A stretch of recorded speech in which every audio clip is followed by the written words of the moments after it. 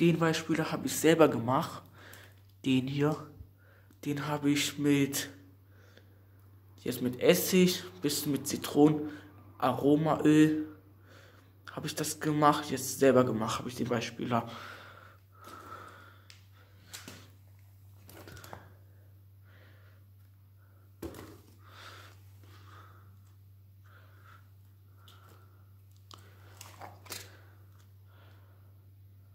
Ist auch Waschpulver drin. Da habe ich hier noch so welche Tüten.